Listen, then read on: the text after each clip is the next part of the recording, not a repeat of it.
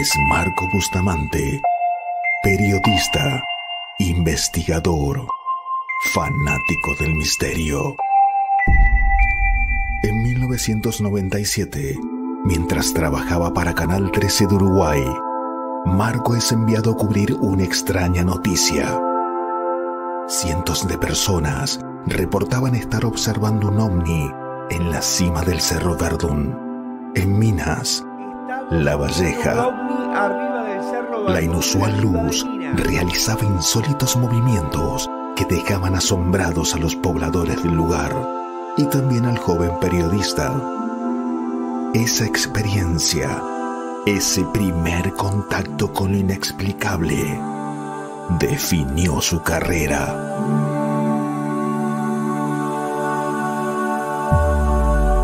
En 1999 sale a la luz pública su primera gran historia. Un hombre había encontrado un huevo de dinosaurio fosilizado en el patio trasero de su casa. Marco dio la primicia y la noticia dio vuelta al mundo. En el 2007, ya en Buenos Aires, se pone al frente de un ciclo llamado Historias de aquí, allá y más allá. Historias de aquí, allá y más allá. El envío que se emitía por Radiosónica Radiosónica. sirvió para comenzar a dibujar un formato y un estilo. Bienvenidos a historias de aquí, allá y más allá. En 2015, ya como periodista de Diario Crónica, Marco se pone al frente de una transmisión sin precedentes. Un exorcismo en vivo y en directo. La emisión lleva hasta la fecha millones de reproducciones en redes y la noticia sobre su realización fue portada en 150 medios internacionales. En 2016, en Crónica HD, comienza a emitirse la primera temporada de Paranormal. El ciclo fue visto por millones de personas y marcó un antes y un después en el tratamiento de los temas sobrenaturales en los medios nacionales. Tres décadas con más de 30.000 kilómetros de camino recorrido. Cientos de entrevistas e investigaciones. Un sello, un estilo, un periodista, un formato. Marco Bustamante es Crónica Paranormal. Acompáñanos. Todavía nos queda mucho camino por recorrer. Porque si es un misterio, allá vamos. Hola, ¿qué tal? ¿Cómo están? Muy buenas noches. Hoy vamos a hablar de Umbanda, de religión, de africanismo, con una de las personas que yo creo que es la que más sabe de la República Argentina, con el Pai César, en esta emisión a través de Crónica HD. Bueno, sí, mi nombre verdadero es César Esteban Sánchez. Nací en el año 1967 eh, en San Martín. Y bueno, mi padre empezó la religión más o menos allá por el año 75, 6. Y empecé yo a caminar la religión con él, junto con mi mamá. Y bueno, después este, me siguió gustando, me siguió gustando todo y en el año, más o menos en el año 76, 7, mi papá estaba por, eh, eh, atendía en Florida, pero era tanta la gente que, que atendía, tanta la gente que tenía que, que empezamos a buscar otro lugar para venirnos. Y decía, mi papá decía, vamos a algún lado alejado. Esto en el año 80, Don Torcuato, la gente decía, ¿dónde es Don Torcuato? El campo. Decían, era, era campo esto. La gente de San Isidro para acá no, no, no conocía. Y este, bueno, y venimos acá por un tío de la May Norma, eh, la mujer de mi papá en esa época, la May de la casa. Y viene mi papá y bueno, y empieza a estar con la religión. Y este templo está fundado, acá al lado primero empezó mi papá en el año 1981. El año que viene cumplimos 40 años acá en Don Torcuato, 40 años ininterrumpido. Primero mi padre hasta el 2001 que fallece y en el 2001 tomo la posta yo y, y empiezo mi carrera solo. Digamos, yo igual ya eh, era pai. Primero fui tamborero de mi papá, que ahora voy a mostrarle en la ceremonia lo que es el ser un tamborero. Y después, este, bueno, me seguí la carrera religiosa y me convertí hoy en el pai César T. Yango. El orilla mío, mi santo de cabeza para San Marco de León, San Miguel Arcángel. En mi caso, San Miguel Arcángel, porque soy Yango Aganchu. Yo creo mucho en, el ida y vuelta, ¿me entendés? Yo soy una persona que soy uno de los, de, los pocos que siempre estoy bien, eh, no estoy ojeroso, no estoy todo tétrico, oscuro. Eh, el típico macumba que, tiene ojeroso, porque la gente viene acá y cree que nosotros eh, tomamos licuado de sangre, no sé, comemos los pollos vivos, todo es una, una de esas pavadas tengo un refrán, no hay religión mala, hay gente mala. Eh, no me podés decir que podés venir acá como todos creen, la gente cree que viene acá y le vas a hacer un mal a alguien. Si vos le, le, estás haciendo un mal a alguien, no sos un religioso, no sos una persona de fe, no sos una buena persona, ¿me entendés? Yo no le tengo y no le puedo hacer el mal a nadie. Eh, lo que me vas a preguntar por ahí es, ¿lo sé hacer? Y eh, sí, obvio, sé, sé de trabajo. ¿Por qué? Porque me preparé. ¿Para qué? Para sacarlo. Entonces, para primero, para sacarlo, tengo que saber cómo se hace. El famoso secretismo donde está Oyalak, que para nosotros es Sagrado Corazón y para todo, para los católicos es Oyalá. San Jorge para ustedes, para mí Ogún. Para mí Ogún. Em, la y, Estela Maris eh, y Emanja. Eh, el, Amay Oyun, como te dije antes, eh, eh, Inmaculada Concepción. Bueno, el tema del altar está mezclado. ¿Por qué? Porque tenemos el famoso sincretismo, como te había contado antes. Vas a ver a la imagen de Sagrado Corazón, pero nosotros lo veneramos como Yalá. Y después vas a ver a la imagen de la Mayoyun, pero también la veneramos como eh, Inmaculada Concepción. Y después vas a ver muchas figuras africanas como Shango, como Yun. Después, en la parte del altar de Umbanda, que te lo voy a mostrar después, este, vas a ver a los pretitos, a, las crianzas, a, los caboclos. A ver, la Umbanda, entendé que era de mucho indio, mucho preto. Está el famoso pretovelo, el viejo negro, preto velo, viejo negro. Eh, antes, vos eh, cuando estaba la esclavitud, no había muchos médicos y no había muchos. Eh, al, esclavo no se lo ignoraba. Y entonces, ¿qué pasa? Muchos consultaban a los, a los, a los curanderos o a, los, que tenían algún poder de, curar. ¿Quién eran? Los pretos, los sabios, pretovelos. Vas a ver que el preto, por ejemplo, tiene un rosario. ¿Por qué? Porque el preto está sincretizado, también cree en lo que es eh, el catolicismo. ¿Me entendés? los africanos, vas a ver después, toman, bailan, danzan. Es muy colorida la, la, la ceremonia umbanda. Es muy linda, bien hecha. Que hay, como todos, hay médicos buenos, hay médicos malos. Hay abogados buenos, hay abogados malos, hay cura bueno y hay cura malo. Y hay pai bueno y de los otros también. ¿En serio me lo preguntaste, la verdad? ¿Y qué te parece? Sí, sí, muy. Porque eh, es una religión que, que vende, que vende. Eh, que vende el, amarillismo, que vende, lo sensacionalista, todo, todo junto. Vos fíjate que eh, mata, matan a alguien y dicen, un pai mató a una persona, pero nunca escuché, un católico mató a un policía, eh, un budista mató a su mujer. La verdad que nunca lo escucho, pero los zumbandas se hacen una panzada con los zumbandas. Eh, eh, ven un pochoclo, ya fueron los zumbandas. Ven un pollo, ya fueron los zumbandas. Ven todo, todo, es sensación. Les, les atrapa, les atrapa la umbanda. La umbanda atrapa. No sé por qué. Lamentablemente y triste te lo digo. Es culpa suya. Sí, sí, sí, sí. Sí, sí. Aparte es muy simple, una vez lo dije. Este, te- todo anda mal y que le echan, te hicieron un trabajo. Eh, no me va, te hicieron un trabajo. Todo. Pregunta, eh, ¿no será que vos sos así y te va mal por vos? ¿O todo tiene que ser un trabajo? Ay, sí, hay que alguien te puede trabar, pero siempre hay que tener un trabajo. No tengo trabajo. A ver, ¿no tenés trabajo? ¿A qué hora te levantás? No, a las 11, igual, claro. Obvio que no vas a tener trabajo. Yo ¿Eh? ¿Me entendés?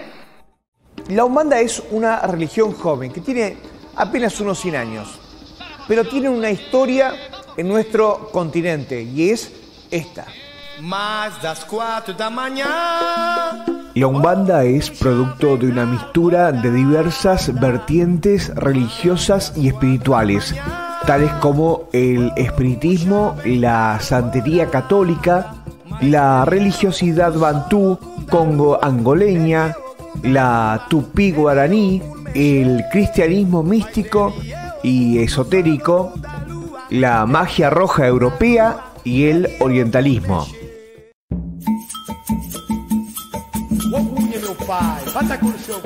La Umbanda es una religión americana nacida en Río de Janeiro, Brasil, a partir de 1908.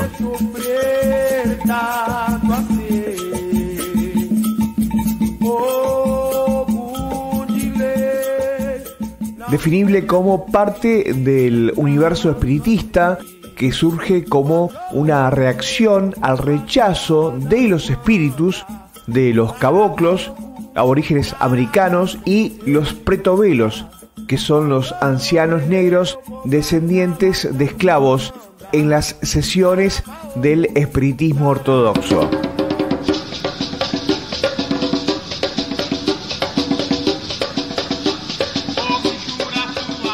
Pero ¿qué pasó un 15 de noviembre de 1908? Un joven brasileño de 17 años, Celio Fernandino de Moraes, parte de una familia católica de clase media, afectado por algunas dolencias inexplicables, asiste, con motivo de consulta sobre su salud, a una sesión espiritista en la sede de la Federación Espiritista de Río de Janeiro. En dicha sesión espiritista se manifestaron espíritus de caboclos y de pretobelos de manera inhabitual, por lo que el dirigente a cargo los expulsa por considerarlos espíritus atrasados. En ese momento, como reacción a esa injusticia, se manifiesta en el cuerpo del joven Celio, un espíritu que, al ser consultado por su nombre, refiere que elige ser conocido como caboclo de las siete encrucijadas, refiriendo que ningún camino estaría cerrado para él. Inmediatamente comunica que al día siguiente en la casa de su medium fundará una casa de culto espiritista en la cual podrán manifestarse los espíritus rechazados en esas sesiones para poder dejar sus mensajes a sus pueblos descendientes y atender sus necesidades. Epa, Ansa. Epa, rei, minha Esa noche, siendo las 8 de la noche, en la casa de la familia de Celio de Moraes, se dan cita a los dirigentes de la Federación Espiritista de Río de Janeiro y diversas personas necesitadas de atención espiritual. Se incorpora en el joven el espíritu de quien se definiera como caboclo de las siete encrucijadas y refiere que esa casa de culto se denominará tienda espiritista Nuestra Señora de la Piedad. Luego de varias explicaciones, da paso a otro espíritu en el mismo medium, quien es conocido como el preto velo Antonio, quien hiciera uso de ciertos elementos característicos, un cachimbo, una pipa, el que pidiera la primera guía, que son los collares de cuenta de colores de la Umbanda. Ese momento marcó la fundación de la Umbanda en Río de Janeiro.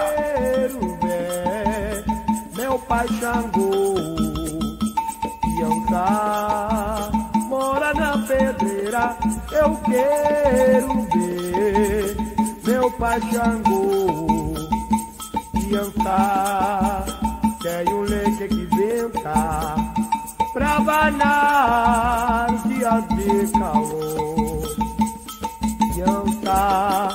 Tem um leite que venta pra banar dia de calor. Cantar. Mora na pedreira, eu quero ver meu pai Xangô criança mora na pedreira. Eu quero ver meu pai Xangô. Criança mora na pedreira. Eu quero ver meu pai Xangô.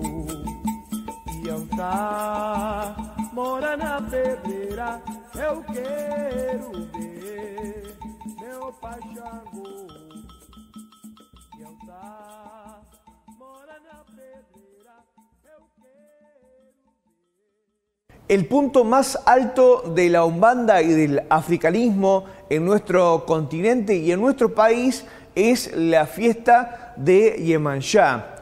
Tuvimos la posibilidad de ir y conocer lo que es ese ritual al aire libre que año a año convoca a 100.000 personas solamente aquí en nuestro país.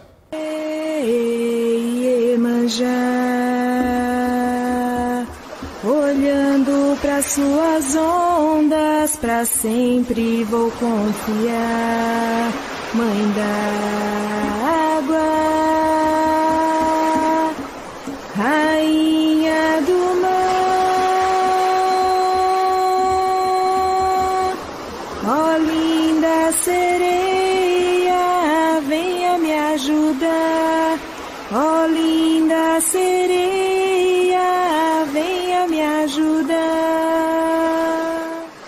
Estamos sobre la costa del Río de la Plata. En este lugar todos los años miles de personas se juntan para adorar a la Alamay e Manchá.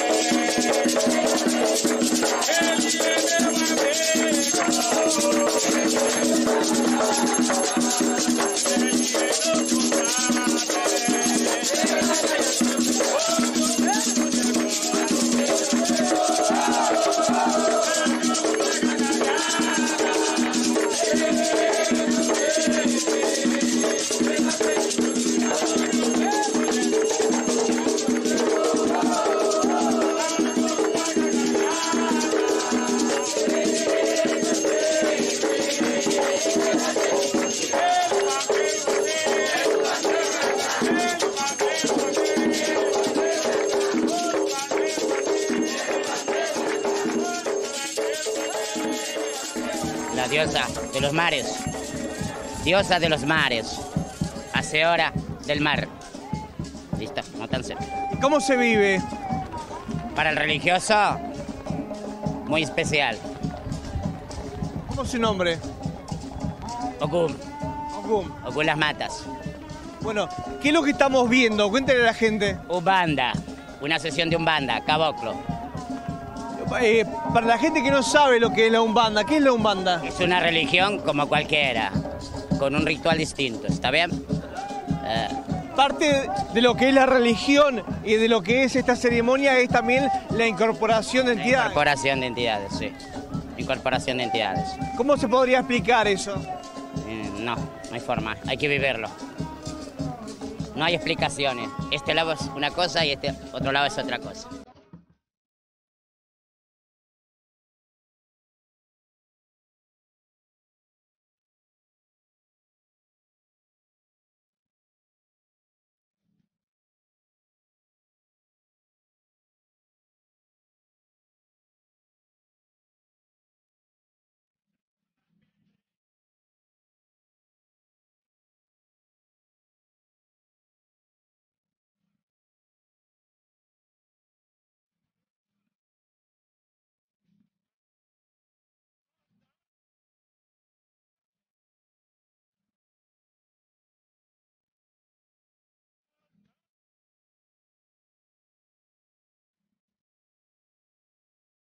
Que por ahí la Umbanda es muy criticada. Sí. Por los que no conocen o no tienen fundamento y no saben del respeto. ¿Está bien? ¿Mm? Esta religión es muy antigua, llega de Eh, África. África. Es ancestra, es ancestral. Con los esclavos llega a Brasil, a Uruguay, Argentina. Ah, sí. Brasil, Uruguay, Argentina, Cuba y muchos países de América. Y acá en Quilmes, por ejemplo, son miles. Sí. En especialmente la Talamay Oshum, porque ahora están todos en la playa de Imayá, ¿está bien? En los mares de la playa, ¿está bien?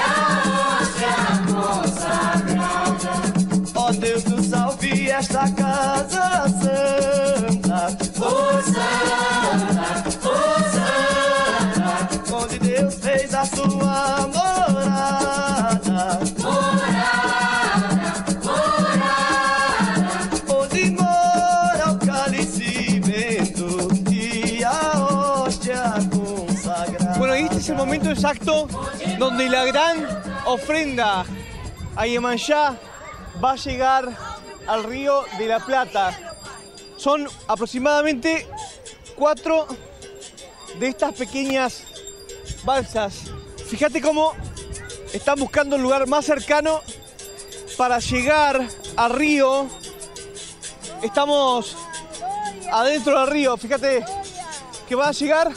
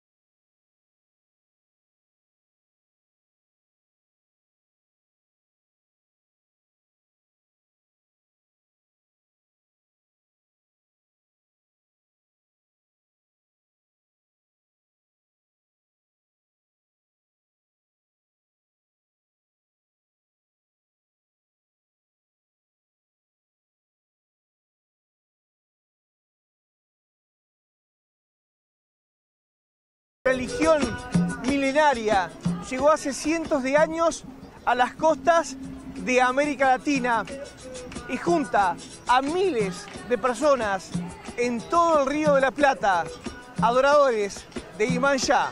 Hasta aquí esta edición de Paranormal. Nos vemos la semana próxima.